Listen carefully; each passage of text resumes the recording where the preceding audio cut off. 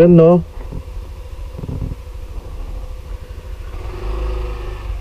You know what's up mga boys. Welcome to our uh, new video. Welcome to my YouTube channel. Yan. So, itatry natin ngayon yung bagong bili kong GoPro Hero 4. Yan, so nandito tayo ngayon sa Ordaneta.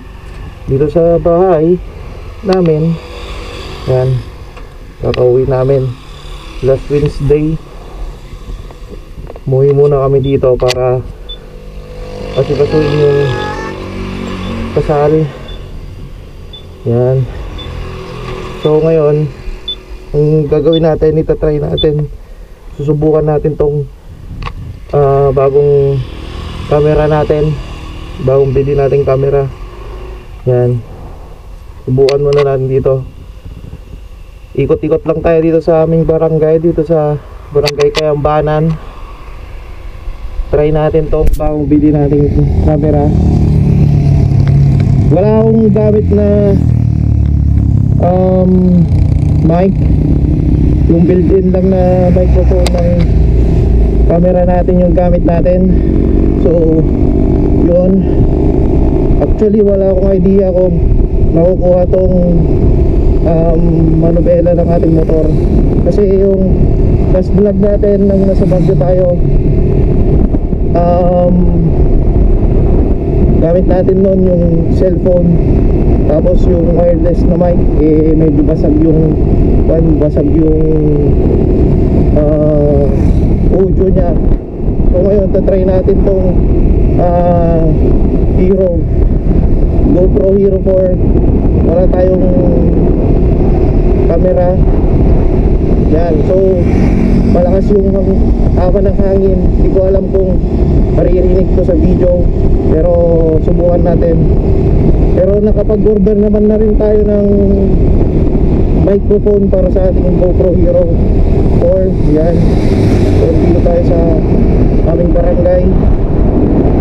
Short vlog lang to. Itatry ko lang kung gumagana or maganda ba yung quality ng video na ating makukuha gamit tong GoPro Hero 4 na built-in mic lang yung gamit natin.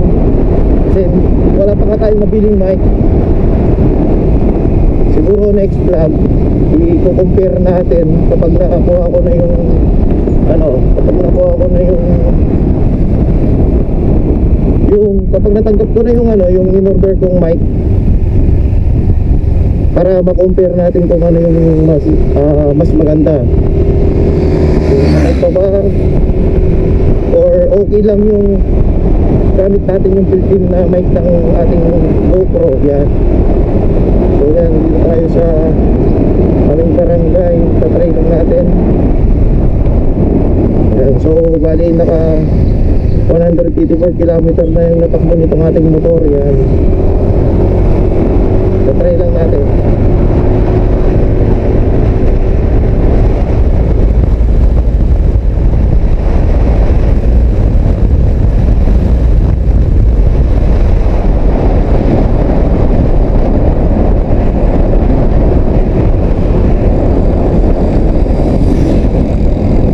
Actually, wala akong idea kung maingay ba yung tama ng hangin sa ah, makukuha nating video.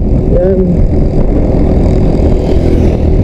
Ngayon, tanghali, napakainit. Eh, siyempre, mamaya kasi today is Sunday, mamaya eh, lalabas kami ng asawa ko, magmamas kami. Nagpaalam lang ako sa kanya na itatry itong GoPro na bagong bili titignan lang natin kung gaano kaganda yung quality ng video kasi ang pagkakaalam ko kasi yung mga napanood ko yung mga review nila bali yung mga gumagamit ng mga motovlogger katulad nila di Patagumpay tsaka ng mga iba pa GoPro Hero 4 sabi nila mas maganda daw GoPro Hero 4 sabi nila ayun sa mga review na napanood ko mas maganda daw yung GoPro Hero 4 kaysa sa um, yung mga bagong GoPro ngayon may bago na palang gasolina dito. So, nandito na tayo sa barangay Bangkalabasaan.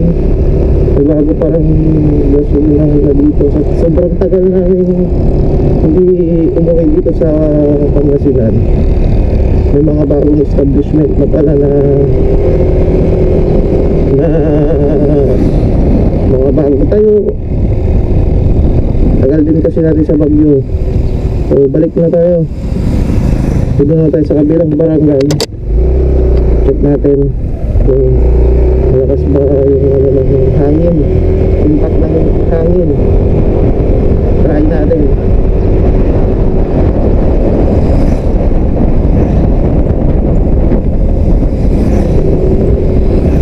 Wala kasi ako idea kung ano magiging kal ah, kalalabasan nitong video natin kung maingay ba dahil dun sa um, tama ng hangin or hindi nyo ako maririnig. Hindi nyo maririnig yung voice ko. Wala akong idea talaga. Hindi ko alam kung magiging maganda ba yung kalalabasan ng ating audio. Yan. Short vlog lang. Short vlog short review sa ating ano GoPro. Subukan natin kung maingay nga ba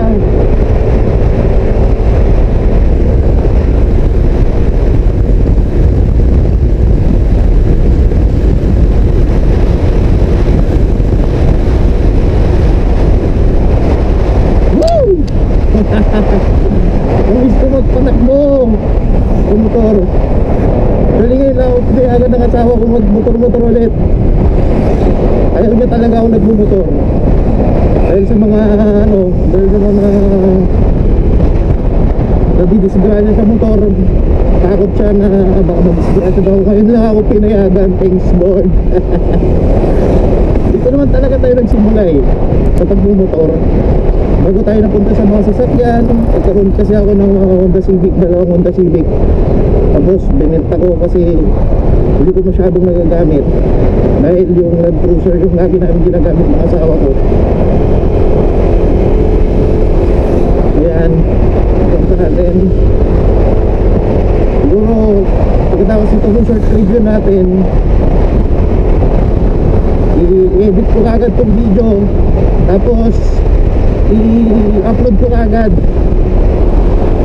short review lang to mga boys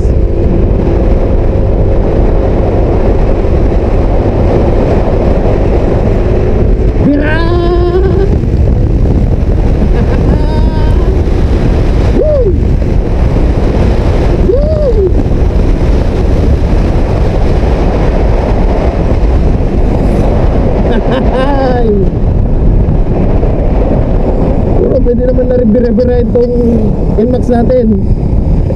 188 kilometers naman na na-break in naman na siguro yun. Nakyat na na, galing siya ng Baguio. Nakyat balikan. Tapos lagi ko pang ginagamit dun sa Baguio. So ay ko pwede na rin barat-barata dito sa babatong ating bagong NMAX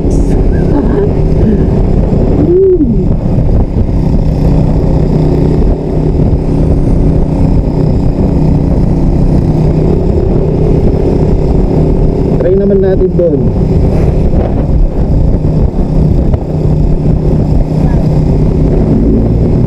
Try natin. So yan, shoutout pala sa binubuo kong grupo. Actually, sabihin ko pala dito sa aking vlog, meron akong binu- binubuong grupo dito sa Urdaneta. Yan, ang Big Bros Motorcycle Club. Yan, open kayo sumali. Basta PM nyo lang ako sa aking ano sa aking um, sa aking personal account. Yan. PM nyo lang ako sa mga gustong sumali na mga solo rider dyan na wala pang grupo. Mas maganda siguro kapag sasali kayo sa amin yung talagang ano talagang wala pa kayong grupo. Yan. Kumbaga first time na groups nyo na sumali sa amin yan mas magandang ganon mga boys mas maganda yung kasali kayo na first time pa lang nyo sa, sa isang grupo yun kasi yung may marami kayong grupo ayaw kasi ng mga ano ayaw ng may mga, mga ma-issue tayo sa mga ano. Gusto ko, fresh. Fresh lahat na mga kasali sa aming group. Yan. Yun pala, yung gamit ko pala is naka-wide, ano ko, naka-wide angle na camera ko. Yan. Dami na pala mga, o dito, o motor shop. So yun no mga boys, inulit ko pala ano, sa mga gustong sumali dyan na mga solo rider, yan, yung mga wala pang group, PM nyo lang ako sa aking Facebook, chat, ah, Facebook page, ay hindi, Facebook, sa main na Facebook ko. Tapos, tignan natin, para maging masaya. Gusto ko lang ng ano, hindi lang basta-basta ah, motorcycle group ang binubuo. Ko parang tur- turingan natin doon is kapatiran talaga. So dito tayo sa ano sa uh, MacArthur Highway na dito sa Luzon District eh.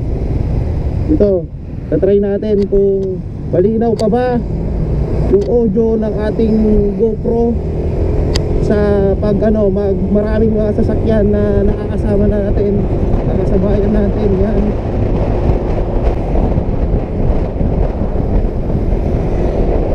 So pala yung kahabaan na ano, kahabaan na uh, MacArthur Highway, Barangay San Vicente. San Vicente pa to eh. Alam ko. Pagkakalam ko Barangay San Vicente pa to. Pinapayagan na tayo ng misis natin na mag motovlog. Basta ang lagi niyang sinasabi sa akin, paalala niya, lagi lang ako mag-iingat yan, try shoutout sa napaka-supportive kong asawa. I love you, honey! Yan. Pero ko lang yung napakabait. Shoutout ko lang siya. Supportive. Yan. Napaka-supportive niya. Oh, may mga shop din doon. Oh, shit! Shit! Alam po kung ano, tama ba itong dinadaanan natin? O mataas eh. Taas. Baka masument lang tayo.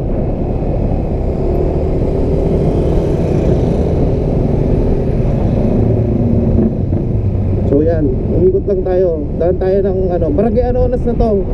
Dito na tayo sa Barangay Anonas. Tapos pasok tayo doon para labas lang tayo ng kayambana magandang ano to, magandang video review to para sa ating camera.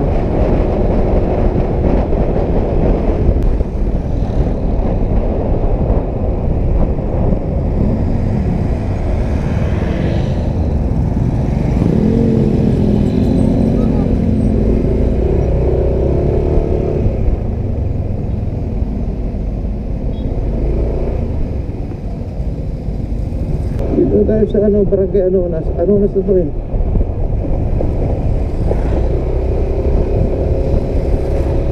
Sa ordinary time, hindi ka mawawala. Kapag bago ka dito, hindi ka mawawala kasi halos lahat naman ng mga daanan dito merong labasan papuntang highway.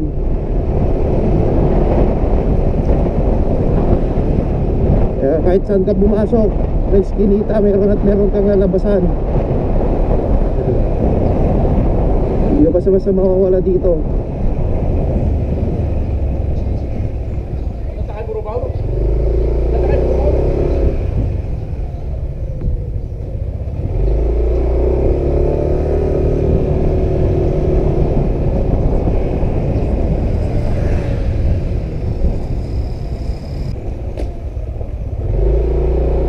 Pasensya na rin pala kayo kung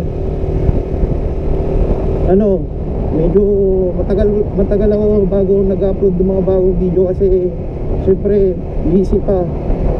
Napaka busy kasi. Di bale, kapag natapos na lahat mga dapat tapusin, pwede na tayo magdiretso na mag um, video, mag-upload ng mga bagong video sa YouTube channel natin. Siyempre, hindi ko rin makakalimutan na pasalamatan yung mga nag-subscribe sa atin.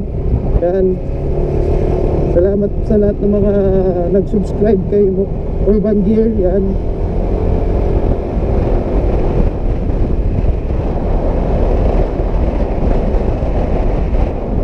Sa mga nag-aabang ng mga sa mga nag-aabang ng sticker natin so papagawa pa tayo ng ano sticker. Meron pa akong pamimigay na mga t-shirt urban gear clothing yan. Sa mga gustong makakuha ng urban gear na t-shirt PM nyo lang ako. May bibigyan ako dalawang subscriber natin. Bibigay ko sa mga lucky subscriber natin. Dalawa. Dalawang pamimigay natin. So yan. Dito na tayo. Di ba? Gawas din lang tayo ng kayambanan Ai.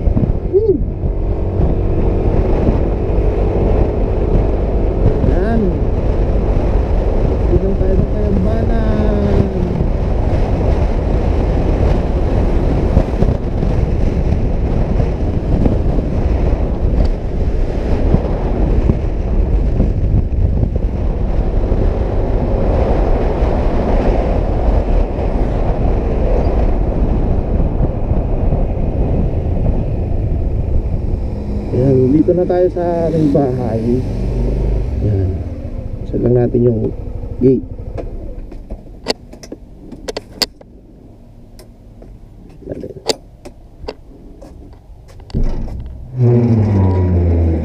Yan, dito na tayo sa aming bahay. Oh, fuck.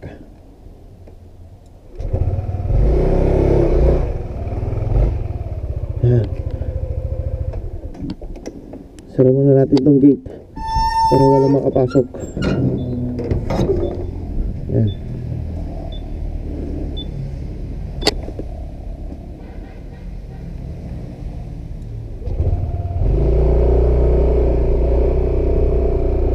Yung mga dogs namin. So kung dito na lang tong ating vlog. So don't forget like to share, subscribe. Urban Gear, peace out.